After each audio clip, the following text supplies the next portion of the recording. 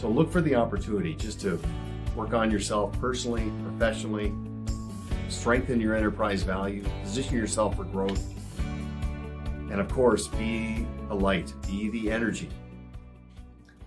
Hey, this is Duncan MacPherson with Pareto Systems. I mean, clearly, we're in the storm, but I can feel the energy shifting. I can feel in my conversations with clients the mood moving back towards anticipation for the future as opposed to anxiety and apprehension.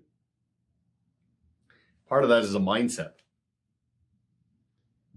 I mean, I'm looking at this as a gift in many ways from the standpoint of reminding ourselves about our sense of purpose, doing some things that maybe we've been putting off or haven't had a chance to get to.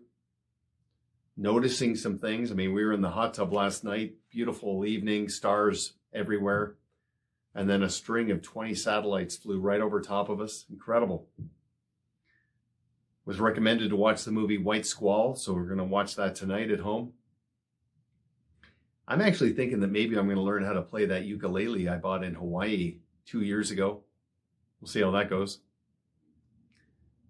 Now, coincidentally, of all the calls that I've had through this turbulence, one of the most memorable was with a client of ours in Honolulu, Marcia.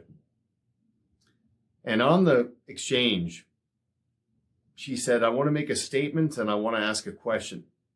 So the statement was, I don't think I would have come through this as well as we have had I not embraced the Pareto system. I mean, our business is portable. We're working at home. The disruptions have been minimal, which was gratifying to hear. But then the question, she said, you know, all of our review meetings now are virtual, right? WebEx, Skype, and they're going well. And in fact, they're so tight and efficient now. I'm wondering when we come out of this and the dust settles, if we can just keep doing virtual review meetings. Now you think about Little's Law, like a year ago, they were bumping up against their capacity. And Little's Law says the closer you get to capacity, the more things tend to break down.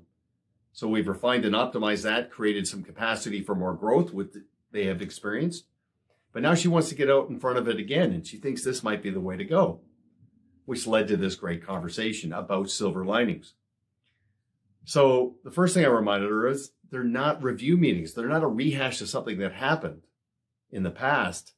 They're a strategy and tactical meeting where you invest the past into the future, make mid-course corrections, and make sure we're completely in sync. And it's an essential part of the process. Again, we want the clients to trust the practice and the process as much as they trust the people. But if you want to make this more panoramic, frame the strategy and tactical meeting with a ramp up and a follow through.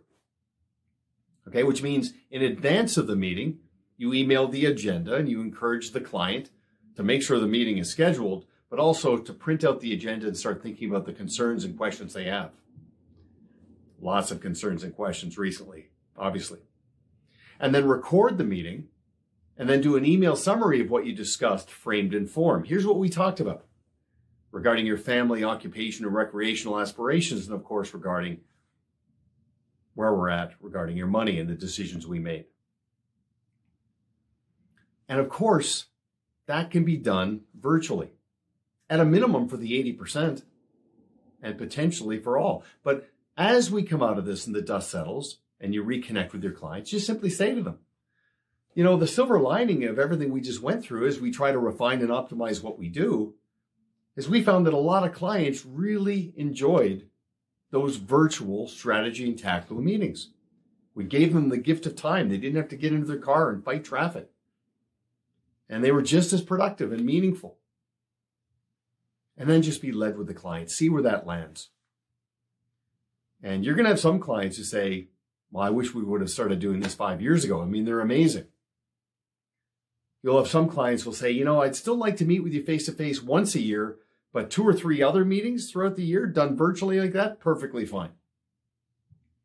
And this gives you an opportunity to just land in that sweet spot and remind your clients that, look, you're still growing, but you're maintaining scarcity, which means you can say to your clients, look, we want to get in front of our growth model. I mean, we only accept new clients who are introduced to us, but we do receive a lot of introductions. But we don't want it to come at the expense of the client experience and have that get diluted. So we're constantly being mindful of that balance. It's powerful.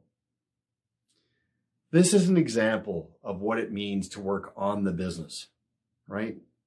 You know, when things were kind of calm and normal a month or two ago and we're just our heads are down and we're transacting and maybe drifting into a pattern where the business is running us instead of us running the business. And of course, just that opportunity to take care of yourself, right? The world needs you. So look for the opportunity just to work on yourself personally, professionally, strengthen your enterprise value, position yourself for growth. And of course, be the light, be the energy for the world. Right? You get into a drive-through, pay and then tip big. Remember, tip to ensure professionalism. Now you drive away, but imagine the service the car behind you is going to get. Make a donation to the food bank. Go out of your way just to invest in your community. It's all good.